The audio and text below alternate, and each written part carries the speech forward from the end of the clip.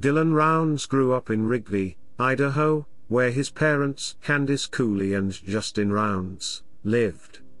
However, when he was four years old, his parents divorced, so he spent most of his time between Twin Falls and Idaho Falls.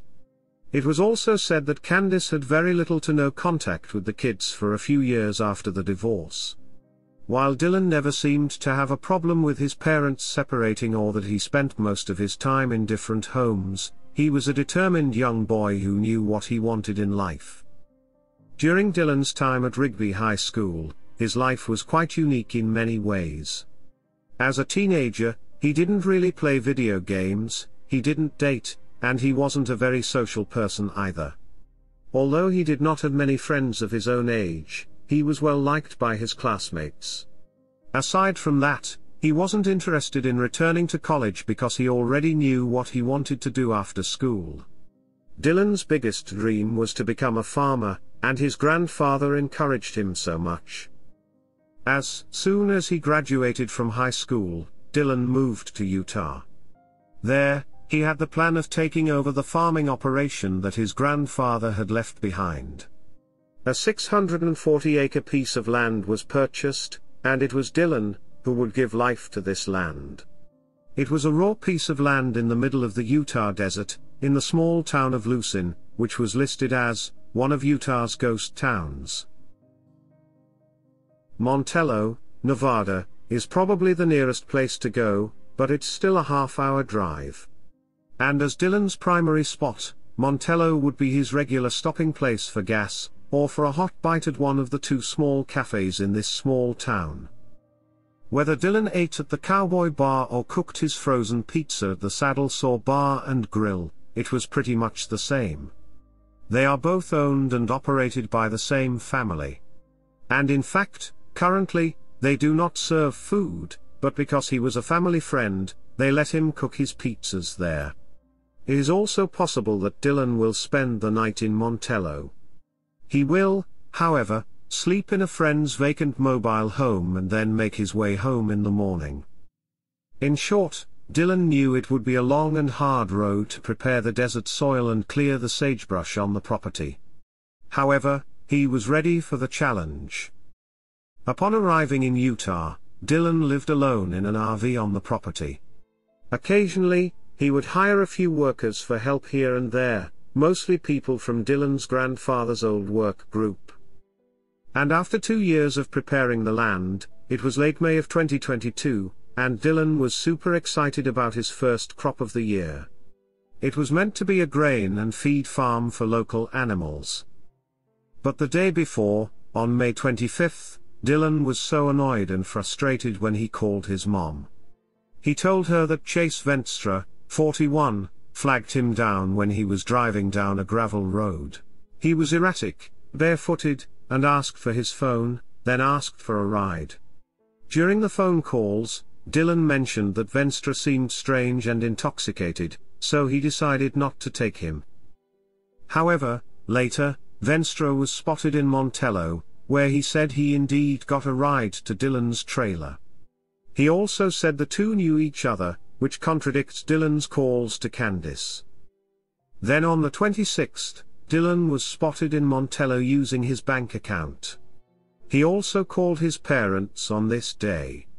Also in Montello, Dylan was last seen eating at the Saddle Sore Bar on the 27th of May. The next day, on the 28th, Dylan's grandmother called him, at 6.51 in the morning to ask what he planned to do that day. Despite answering the call, Dylan cut the call short because it was about to rain, and he had a truck full of seeds, that he couldn't let get wet. He had a pickup truck that he used to travel between his barn and the shed, about five miles from where his RV was parked. But that evening, he never returned his grandmother's calls, which concerned her. So in the morning of the 29th, she called some farm workers to check on him, but to no avail. She then called his parents, in the early hours of May 30th, to ask if they had heard from or seen Dylan. At that point, Dylan's parents realized that they had not heard from him in the past two days, and both decided to drive to Lucin, hoping to get an answer. After they arrived, Dylan's truck was parked next to the RV that he was living in, all by himself, but he was nowhere to be found. But they became more worried, when they noticed the truck was locked up, and Dylan didn't actually use to lock it. The truck was usually old and beaten up, and it was Dylan's primary vehicle for getting around the farm, desert, and nearby town. It was also in four-wheel drive mode, which Dylan did not use for this particular reason, as the setting did not work on his truck. When the family was unable to gain entry to the truck, they broke the window, and they could smell foul play. As Dylan's seat was moved forward, his mother noticed that it is usually farther back since Dylan was 5'11. After a few minutes, they decided to call the sheriff of Box Elder County, the county where Lucin is located. They came and took a look at the property and made a report. But Dylan is a grown man, who lives by himself, in the middle of nowhere, so at first, they treated the case with ease. Just fill in a missing person report and give it a few days, he might just pop up from nowhere. After the initial search, they were sure that Dylan's phone, wallet, and the handgun he always carried, were all missing. There was a search for about an hour and a half when someone came across a pair of boots that had been thrown behind a dirt pile. At first glance, Dylan's parents identified these boots as belonging to Dylan, and his mom was immediately concerned. That is mainly, because, on Friday, the day before Dylan vanished, those boots weren't in that desert when it rained. The boots didn't even have dust or mud on them. A total of 300 search volunteers searched on the Utah side of the river, including five private air searches, until they ran out of fuel, but Dylan wasn't found.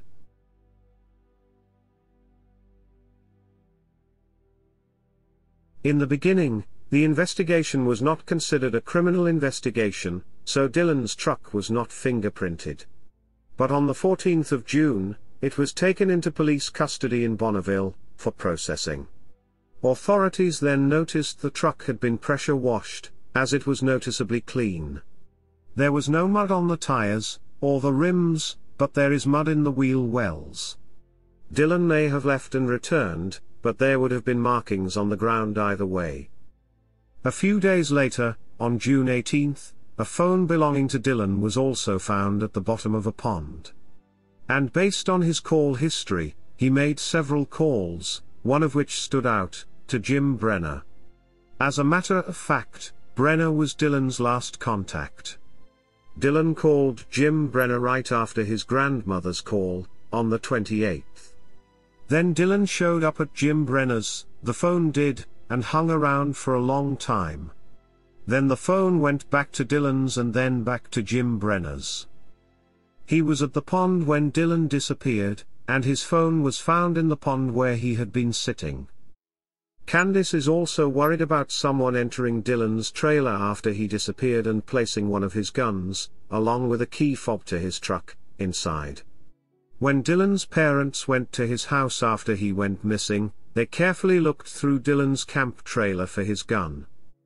Candice says there was no gun in it, and when they opened the medicine cabinet, they found nothing. The next day, Justin's sister cleaned out the bathroom for Dylan's grandma to use. There was no gun in there. Upon returning to the trailer the following day, Dylan's parents reported that the truck key fob, was placed in the same location as the gun. The key fob was wiped down, and police were not able to get any fingerprints off it. This key fob and gun were not originally present. They were returned, and placed back under everyone's hats. And in July, the FBI focused its attention on Chase Venstra, 41, and James Brenner, 59. These men committed felony gun crimes in Utah in the days leading up to Dylan's disappearance. While Brenner admitted that he moved Dylan's bloody boots, he did not say anything else about his sudden disappearance. Besides Brenner's phone logs, it was also obvious that Brenner was in the pond in the days leading up to and after Dylan's disappearance. Dylan's parents believe Brenner who was squatting on a nearby property at the time of Dylan's disappearance, knows what happened to Dylan. Even so, no charges have been filed against him. In Utah, Brenner was charged with three counts of being a restricted person in possession of a firearm, and he has not returned to the property. A few days after Dylan disappeared, Candice and Justin, along with law enforcement, watched Brenner spend time in a shed near Brenner's camper. A recent visit by Cooley and Rounds revealed that the shed was filled with trash and empty beer cans. Apparently, Brenner pulled the grain truck out on his own and cleaned it. He was cleaning the shed with law enforcement, and they were watching him. Brenner took four garbage bags and put them in the back of his pickup, but no one actually stopped him. In Cooley's opinion, he was not cleaning up garbage that day but rather hiding whatever he took out of those bags under the noses of law enforcement. And despite maintaining he had nothing to do with Dylan's disappearance, Brenner remains in the Weber County Jail. Moreover, when Dylan's grandmother called Brenner out about the gun, the boots, and the shed, and he said, Well, I can't talk to you anymore, you will have to talk to my lawyer. A statement that raises even more red flags. There was also an allegation, even though it has not been verified directly by law enforcement or the source. The allegation is that Kurt Wadsworth, who occasionally worked on the farm with Dylan, claimed that Chase Venstra had kidnapped Dylan and was keeping him in a place in Montello. First of all, we know he was a friend of Dylan's, even though he is in his 60s and Dylan is just 19. According to Jim Terry, a private investigator hired by Dylan's family, Kurt and Dylan have been dating. Others have called this preposterous. And I actually find it odd that someone would publicly state such a thing without proving it. To further make the story more bizarre and troubling, Kurt has a brother in the area named Troy. A brother with a lengthy criminal record, one that involves stalking and sex crimes. Troy Wadsworth, the owner of the Cowboy Bar and Cafe, and the Saddle Sore Bar and Grill. In fact, one story says Troy had kidnapped two women, removed their shoes, and kept them captive in a building near Montello. But in any case, Dylan's parents immediately contacted authorities about Kurt's tip in which they told them to contact Nevada law enforcement as Montello is technically in Nevada, and they couldn't help it. They then contacted Elko law enforcement, who had no idea that there was even a missing person in Lucin. That meant that the police in Box Elder County did not tell the police in Elko, even though Montello is the closest town to Lucin, and it is known that Dylan often went there. Eventually, Elko detectives located the property Chase was supposed to be keeping Dylan on, but they could not find him. Chase was also very adamant that he had nothing to do with Dylan's disappearance, either. He had an alibi for the period in which Dylan allegedly went missing, but he also had an outstanding warrant for an unrelated crime, which subsequently led to his arrest. We also learn that one of the farmhands who worked with Dylan was fired shortly before he vanished. This man, Don, had been one of his grandfather's employees before working with Dylan. For the first couple of weeks as news of Dylan's story hit the media, Don initially took the most heat. He was recently fired, and he's much older than Dylan and not thrilled to have been hired for a 19 year old. But others have said that despite Don and Dylan not always getting along enough to work together, they parted ways amicably. Even some who know Don personally have said he is a good guy and would never do anything to Dylan. Even stranger is that Robert Aviles, a friend of Chase, is involved. Robert was identified as the person accused of holding Dylan hostage at his mother's home, but it turned out to be a false report based on psychic information. However, Robert is still in police custody for unrelated charges. Candice says, search crews, family, and friends have done a thorough search of Round's property and around Lucin to the Nevada border. Utah officials have been helpful, and now she hopes the focus can shift to Nevada. The family thinks Dylan was taken to Nevada, and he did not leave his place willingly. As this case picked up momentum, law enforcement took a serious look. As recently as this month, the FBI joined the case along with the Utah Department of Public Safety. The Rounds family is offering $20,000 to anyone who finds Dylan or knows where he might be. And if you have any information on his whereabouts, call the Box Elder County Sheriff's Office. The family is also posting updates on the Find Dylan Rounds Facebook page.